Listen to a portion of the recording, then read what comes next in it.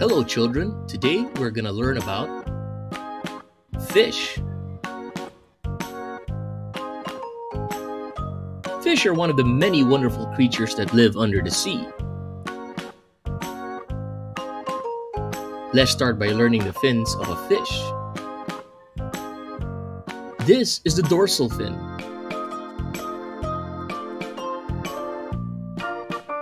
This is the pectoral fin. This is the caudal fin.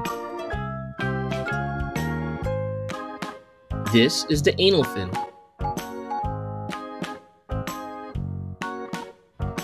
And this is the pelvic fin.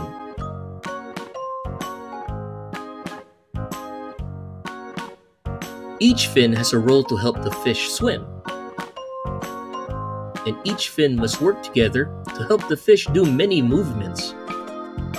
So how do fish breathe underwater? They have gills.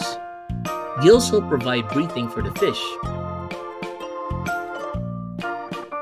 If you look closely, you can see that the gills are at work, helping the fish breathe underwater. Fish are also covered with scales. Scales provide protection to the fish and also help them swim. It's quiz time! Are you ready? Do you remember what fin this is?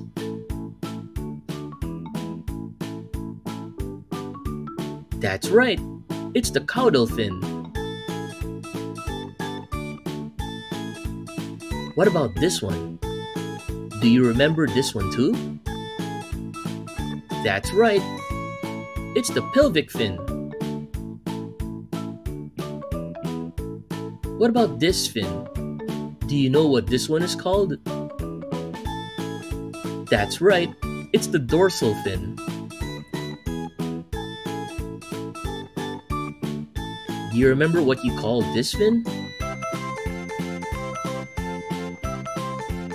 You got it, it's the pectoral fin.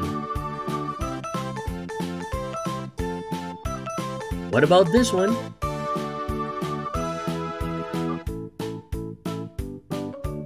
That's right, it's the anal fin. This one helps the fish breathe underwater. Do you know what this is called? That's right, gills. This one provides protection to the fish. Do you remember what this one is called? That's right, scales. Good job, you were great. Oh, I almost forgot to mention that there are two types of fish. Freshwater fish live in rivers or lakes or even ponds. Fish like catfish, salmon, trout, pikes are examples of freshwater fish. As for saltwater fish, they live in the ocean, such as lionfish, hogfish, hamlets, seahorses, and many more. Well, that is all for today's lesson. See you in the next video. Bye-bye. If you enjoyed the video and want to see more videos from us, please click the subscribe button. Also, give us a like. That will help us. We thank you so much and we do hope that you enjoy our videos. See you soon!